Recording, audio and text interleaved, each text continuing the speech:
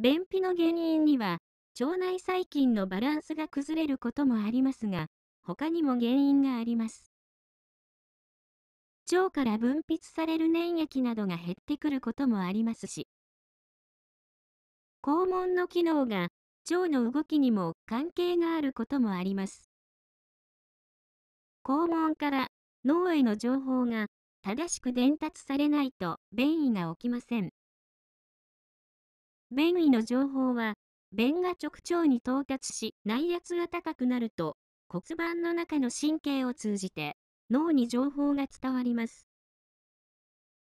柔らかい便が続いていたとしても、突然、便秘になる人があります。難便が続くと、肛門の皮膚側と粘膜側の境にある小さなくぼみの肛門消化に古い便が溜まることで、炎症を起こし、肛門に痛みが出ます。肛門消化は、便意を感じた時の腸や肛門の動きを調節しますが、肛門消化に古い便や老廃物が溜まることで、その機能が低下する可能性があります。肛門から脳への情報が届かないタイプの便秘で、高齢の人で男の人に多く見られます。脳から腸への刺激が正常に届かなくても便秘になることもあります。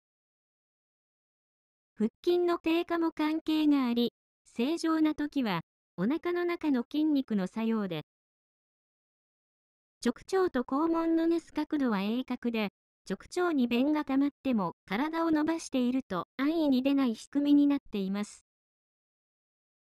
骨盤が緩み、この角度が広がると肛門が開きます。直腸が膨らむと、さらに便意を感じますが、排便の準備ができるまで、意識的に排便に対して抑制が働き、肛門はまだ閉じた状態で便が漏れないようにしています。排便の準備が整うと、脳からの抑制が取れて、直腸と肛門の角度が緩やかになり、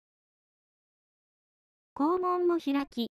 腹圧をかけることと直腸の収縮により、排便されます。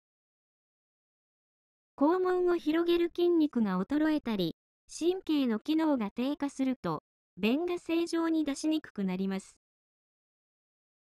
だから、高齢者に腸内細菌のバランスを取る薬や、腸で膨張して便を増やす薬を出しても効かない人が多いです。